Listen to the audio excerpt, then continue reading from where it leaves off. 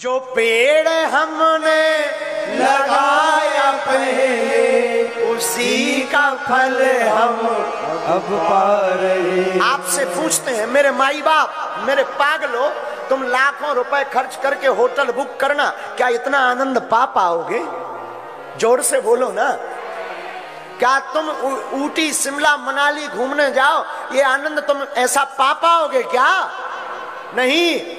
अरे जो पेड़ हमने लगाया आज हमारे आपके पूर्वज ऊपर बैठे बैठे बैठे बैठे गदगद हो रहेंगे कि वाह हमारे वंश में ऐसा सपूत पूत पोती हुए हैं जिन्होंने हमको तारने के लिए राम कथा की नौका पर सवारी ली है। जो